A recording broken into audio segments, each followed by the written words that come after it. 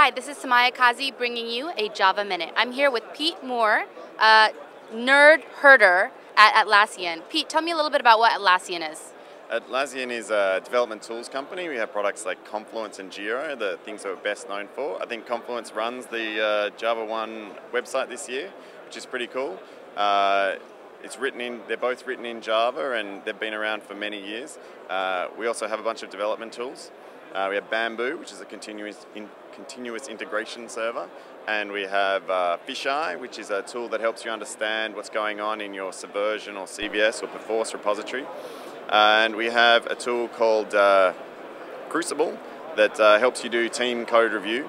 And we also have uh, Clover, which is a kind of well-known Java code coverage tool, which we've completely just rewritten, and it's, it's extremely cool now. Now all these tools are written in Java, and uh, even you can write plugins for Confluence and Jira in, in, so, in Java. So Confluence is actually what uh, is running our wikis.sun.com. So can you tell me a little bit more about that and what makes it cool? Yeah, so the, the really cool thing about Confluence and all of these products is that you can extend them by writing plugins that run within the uh, within Confluence or within Jira, and so there's this big community, and there's hundreds of plugins. So it's like a meta community of things, and there's so uh, there's actually companies that sell plugins just to run inside Confluence that do cool things like charting and diagrams and uh, like XP project management, and so really the cool thing is it's so extensible, just like Java.